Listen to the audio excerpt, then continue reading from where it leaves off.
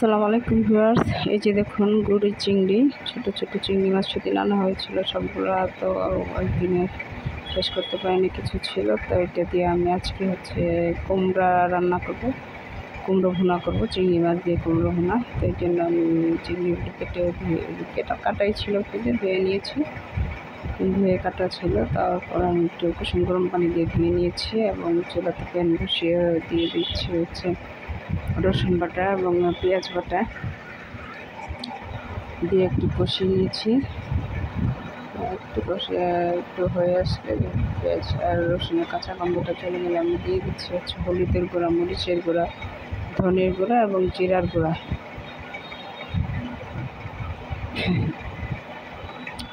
দিয়ে এখন নেড়ে চেড়ে মিশিয়ে নেব। স্বাদ মতো একটু লবণ দিয়ে দেবো।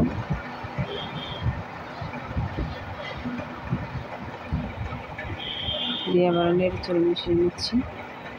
এখন অল্প একটু পানি দিয়ে দেবো ভিউয়ার্স বিকজ যেন মশলাটা পুড়ে না যায়, সেই সাথে দিয়ে দিলাম একটা তেজপাতা হয়ে আসলে দেন আমি হচ্ছে চিংড়িগুলো দিয়ে দিলাম যেটা কাঁচামরিচও কেটে খালি করে দিয়ে দিলাম। এই চিংড়ি দিয়ে কুমড়া ভুনাটা খেতে ভিউয়ার্স অনেক মজা, অনেক টেস্টি হয়। তো ঢেকে দিলাম, ঢেকে দু তিন মিনিট জাল করার পরে যে দেখুন তো এখন ছোটো ছোটো করে কুমড়োগুলো কেটে নিয়েছিলাম, তো সেগুলো দিয়ে দিলাম। দিয়ে এখন নেড়ে চেড়ে মিশিয়ে নেব।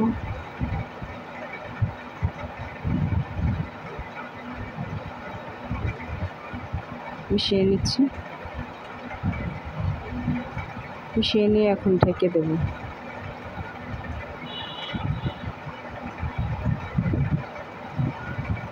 পাতাটা দিয়ে একটু অল্প পরিমাণে পানি দিয়ে দেবো। ঢেকে দিলাম, ঢেকে পাঁচ সাত মিনিট জাল করলাম।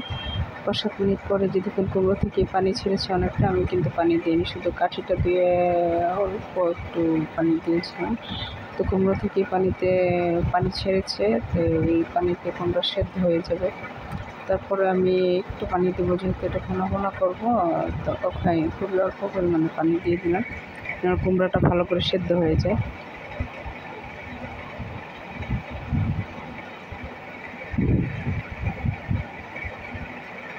ঢেকে দিলাম, ঢেকে আট দশ মিনিটের মতো চাল করে নিয়েছিলাম।